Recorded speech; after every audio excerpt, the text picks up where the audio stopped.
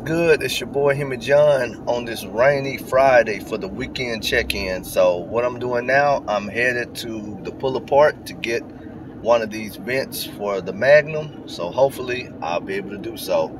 See you in a minute. All right, so I struck out at the LKQ pull apart. And so right now I'm at the uh, pull apart on the other side of Nashville. I hope you guys can get that there.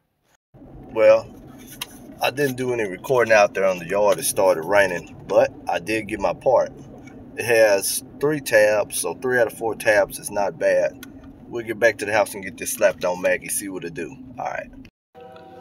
All right, y'all. I'm back. It's the next day. So,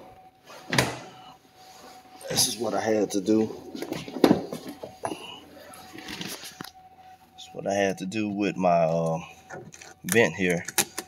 I had to get it taped up. And um,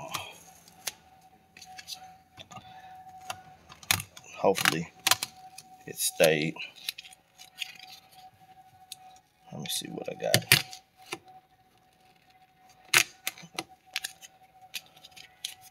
So it looks like it stayed.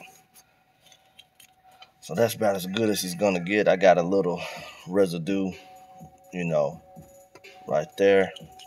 But uh, I'll get that cleaned off. In addition to that,